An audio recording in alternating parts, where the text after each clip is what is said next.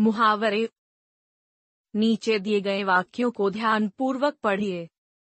प्रांजल धूप में विद्यालय जाता है। धूप में विद्यालय जाना प्रांजल के लिए टेढ़ी खीर है। पुलिस को देखते ही चोर भाग गया।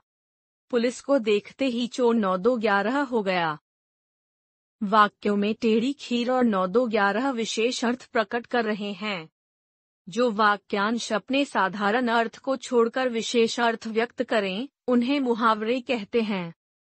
नीचे कुछ मुहावरे उनके अर्थ तथा वाक्य प्रयोग दिए जा रहे हैं। एक, आग बबूला होना। बहुत क्रोधित होना। देर से घर वापस आने पर राजेश की माँ आग बबूला हो गईं। दो, आँखों का तारा। बहुत प्यारा। अशोक अपने माता पिता की आँखों का तारा है। तीन, ईंट से ईंट बजाना, नाश करना। भारतीय सेना ने पाकिस्तानी सेना की ईंट से ईंट बजा दी थी।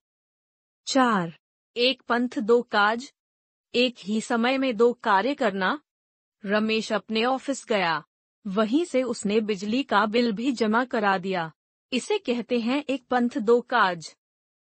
पाँच कमर बांधना, तैयार रहना। भारत की सेनाएँ देश की रक्षा के लिए हर समय कमर बांधे रहती हैं। छह, टेढ़ी खीर। मुश्किल कार्य।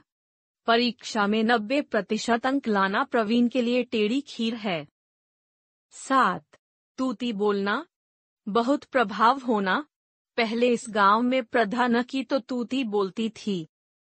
आठ, नौ दो ग्यारह होना। भाग जाना। पुलिस को देखते ही चोर नौ दो ग्यारह हो गया। नौ। पत्थर की लकीर। पक्की बात अद्ध। मित्र की कही बात रोहन के लिए पत्थर की लकीर है। दस। लोहे के चने चबाना। कठिनाई का सामना करना। सौ प्रतिशत अंक पाने के लिए लोहे के चने चबाने पड़ते हैं। ग्यारह। हवा से बातें करना। बहुत तेज दौड़ना। राणा प्रताप का घोड़ा हवा से बातें करता था। बारह, हाथ मलना, पछताना, पुरस्कार नहीं मिलने पर राजू हाथ मलता रह गया।